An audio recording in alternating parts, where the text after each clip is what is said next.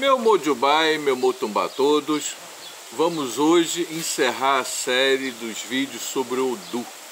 Vamos falar hoje da Láfia, mas antes disso, eu gostaria de mais uma vez agradecer a participação da Graziella Domini, que contribuiu em vários vídeos aí com seus livros da coleção Adajó. Quem quiser adquirir um dos livros é só buscar lá no portal Fundação da Lua e encomende o seu. E ah, beijão, muito obrigado. A Láfia é dominado por vezes como Otuína, que significa tudo de volta. O termo urubá mais conhecido, Aturameji, que evoca a ideia de separar, desligar, apartar. Aturameji é o mestre das palavras. Aqueles que caem sob esse signo costuma ser um, um falador. É um Odu muito bom, sempre pronto a beneficiar e que responde afirmativamente, embora prenuncie tempos variáveis. A Láfia rege os seres humanos, a palavra, as roupas longas, cegueira, medicância, as disputas, o grande caramujo, o AG, os esquilos, as tartarugas terrestres, os animais mamíferos. Fala da raça humana, influencia no corpo humano. Pode provocar inércia na vida das células ou disfunções fisiológicas, apatia dos órgãos e relaxamento patológico dos tecidos. É um odor feminino, suas cores são o azul, o branco e o dourado. No positivo, vocação artística, sinceridade no amor, amor correspondido, sabedoria, conquista de alguma coisa, prazeres.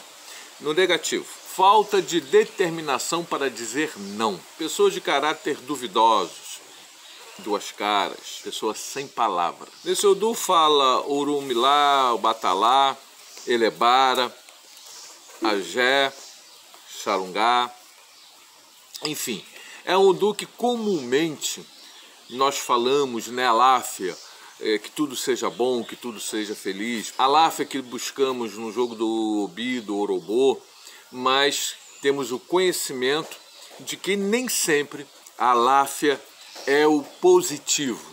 Muitas das vezes é melhor a outra caída, mas comumente a gente deseja a Aláfia, porque a Aláfia tem esse significado no senso comum e isso é importante, porque vibra com o positivo, vibra com a luz.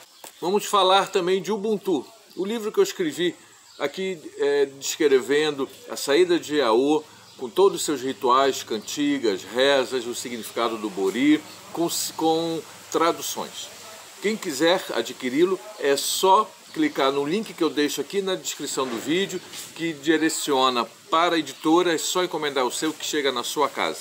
E se você quiser e puder, clique aí também, seja membro e participe conosco do nosso canal.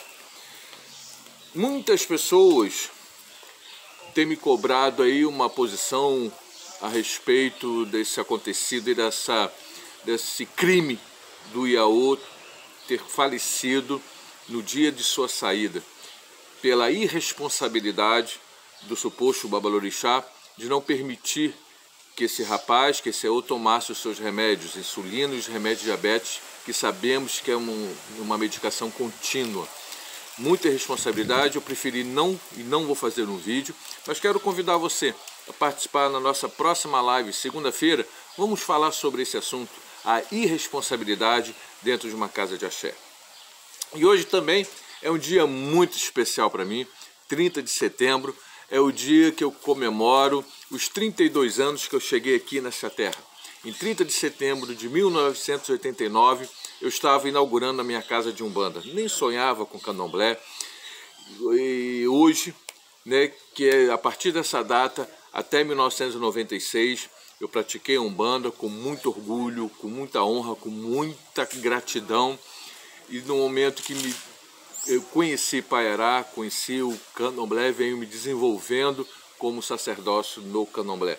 Mas eu não posso e não devo e não quero esquecer nunca os bons tempos da Umbanda, as entidades da Umbanda que me auxiliam até hoje, que me ajudaram a construir quem eu sou.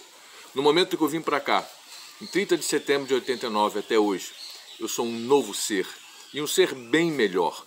Conheci de verdade a conviver com as diferenças, com a desigualdade, desenvolver empatia. E hoje estamos nós aqui arrumando lá o nosso cantinho da Umbanda, do meu tempo de Umbanda, onde hoje a gente arruma, canta uns, alguns pontos e saudar e louvar o caboclo, Exu e Pombagira que tanto me auxiliaram. A todos vocês, um grande beijo e até a próxima. Que sejam tão felizes quanto eu sou no meu candomblé e com memórias de muita gratidão da minha querida Umbanda. Beijos e até a